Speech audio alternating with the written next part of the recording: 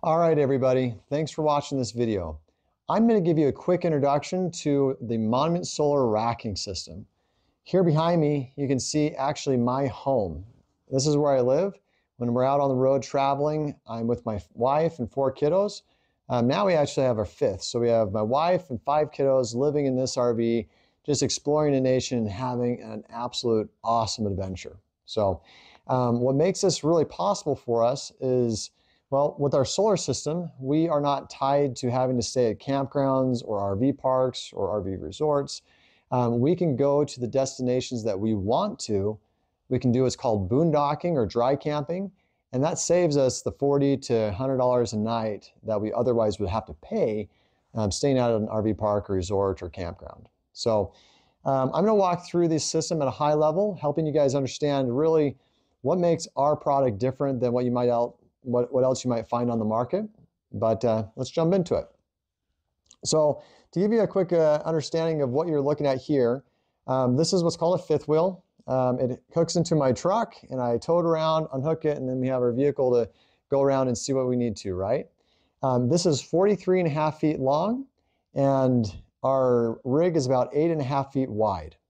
Our systems can go all the way down to, I think, it is just under, one inch under the eight eight foot mark. So depending on how, what your, you know, that is the minimum for our systems. That pretty much any RV out there um, will be wide enough to accommodate this system.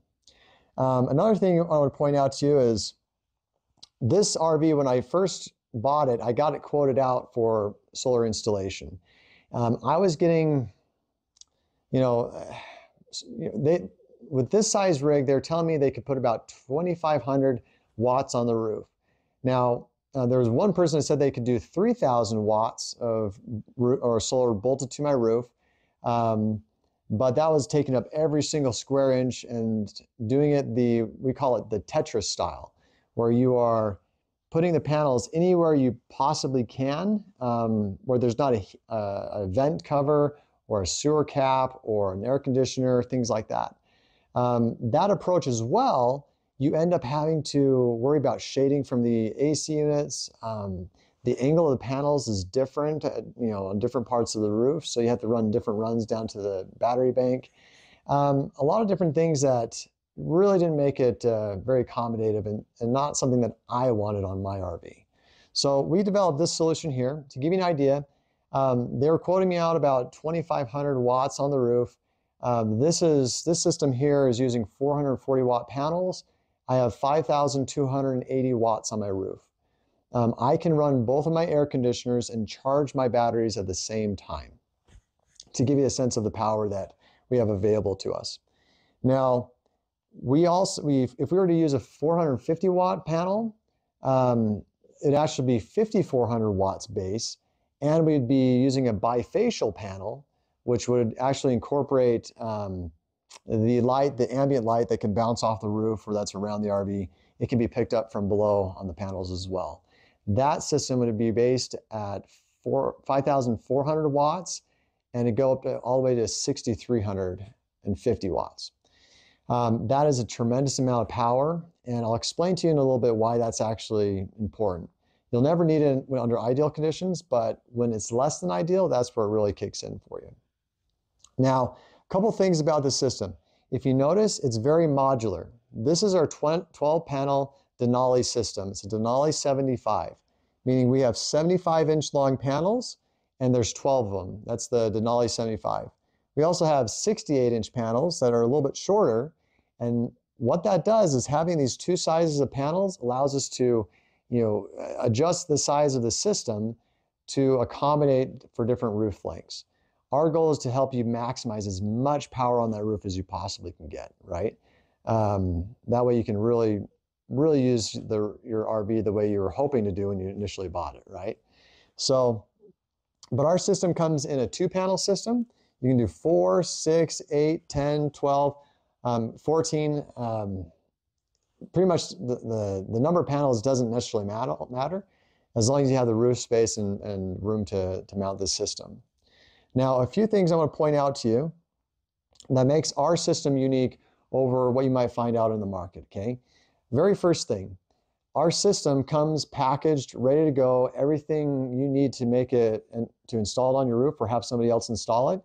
Um, it comes in a box, right? Or a few boxes. Um, we're not sending you to Home Depot or Lowe's or some other source to buy 30 feet of aluminum angle iron or a bunch of bolts and screws and what have you. Um, it literally comes in a box. You, you have everything you need, the great instructions and everything with it as well. And then you can have the system put on your, on your RV. Now, the next thing I want to point out to you is where, where are all the holes from when we bolt um, this thing to your roof? If you notice, we have these what are called uh, the base feet. And the racking system is mounted to this, and the cable works as well are, are connected up with those base feet. These are four inches wide, about 20 inches long, and they really distribute the weight of the system over a wider space.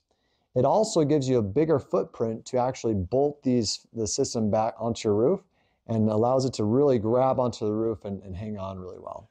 So that is where all of the bolts of the system, all the holes in your roof are being placed on these feet.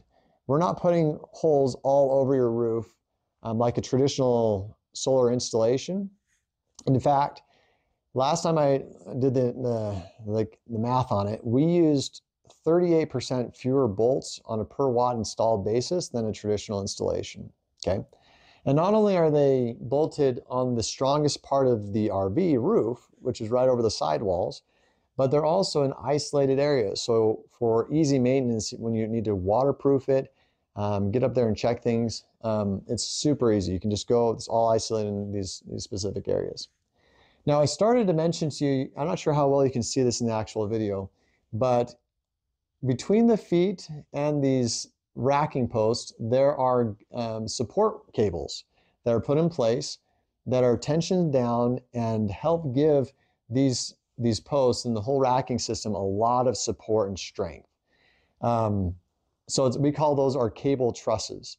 And what that actually does is it allows if there's only one welded component on this entire RV, and that sits right here where this post comes down and mounts to these, these uh, base feet.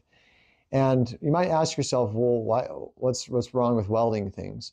Um, nothing per se, but when you are traveling down the road at 65, 70 miles an hour or what have you, and you hit a pothole, and there's a really hard jar on your, your RV, welds are uh, potentially less forgiving than, than uh, the bolts and and nuts and different things that other fasteners that we have put in place here. So heaven forbid that something were to fail in that weld right there. These cables are also in place to keep that in place and have, keep it from flying off the roof, okay? So there's a lot of redundancy in our engineering to ensure that these, this racking system does not come off your roof, okay? Now you'll notice a few other things right here. So if you're coming down this straight down the middle of this of it, between the panels, you can kind of see a small gap there.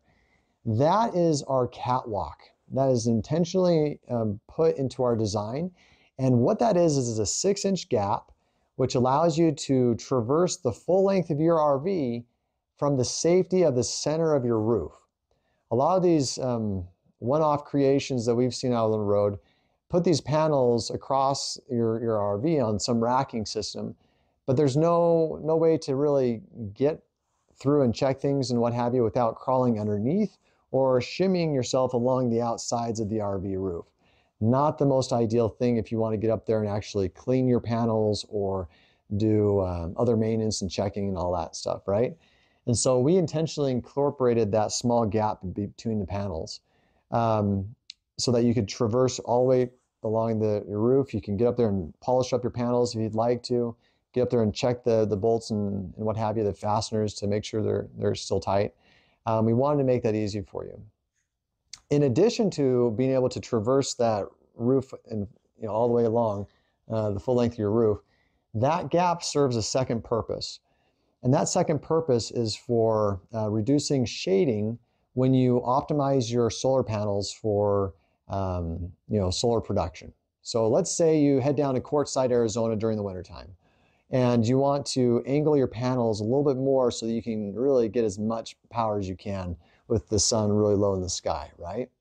Well, what's beautiful about our system um, is as these panels are tilted, they these these panels will tilt 90 degrees in either direction. Okay, um, both the right and left side. Okay, now when you tilt them in the same direction, what will happen is the back panels will often be shaded, and so people are like, let's not let's not tilt our panels because it negates the whole purpose if, if we start getting shading, right? Well, what's great about our setup is as you tilt the panels in that direction, two things happen. The first is this pan these panels here that are closer to the sun, as they tilt toward the sun, they're going to pivot from a point closer into the center of the solar panel. And what that does is it actually allows those panels to dip lower than the panels that are in the back. Because the ones on the back are actually going to tilt past the edge of the solar panel. It's going to actually lift them up higher. So the back side is going to lift up higher, the front's going to dip down lower, and that gap down the middle also pushes those panels further apart so that the shading on the back panels is, is mitigated a lot. Now you might ask, so what, what, what are we talking?